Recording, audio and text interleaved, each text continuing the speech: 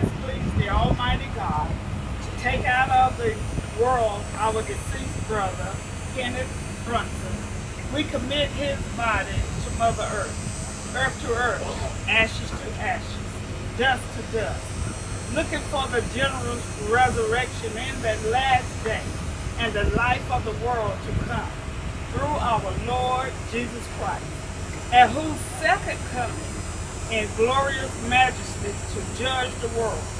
The earth and the sea shall give up their dead, and the corruptible bodies of those who sleep in him shall be changed and made like unto his own glorious body, according to the working whereby he is able to subdue all things unto himself. Let us pray, even as our Lord and Master Jesus Christ taught us. Let us say the Lord's Prayer in unison. Our Father, which art in heaven, hallowed be thy name. Thy kingdom come, thy will be done, in earth as it is in heaven. Give us this day our daily bread, and forgive us our trespasses, we forgive who trespass against us. And lead us not into temptation, but deliver us from evil. For thine is the kingdom, and the power, and the glory, forever and ever. Amen. I heard a voice from heaven saying unto me, Blessed are the dead who die in the Lord from henceforth. Yea, say the Spirit, that they may rest from their labors, and their works do follow them. May we pray. May the Lord bless you and keep you. May the Lord make his face to shine upon you and be gracious unto you. May the Lord lift up his countenance upon you and give you peace. Amen. Ladies and gentlemen, this now brings us to a conclusion for the film services on the day.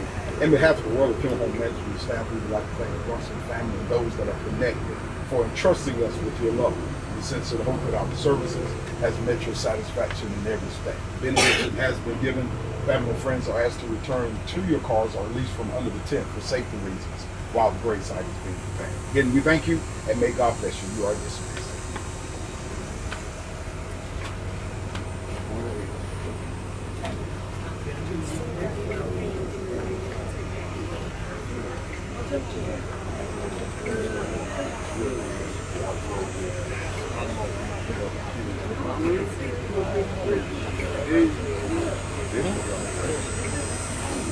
Look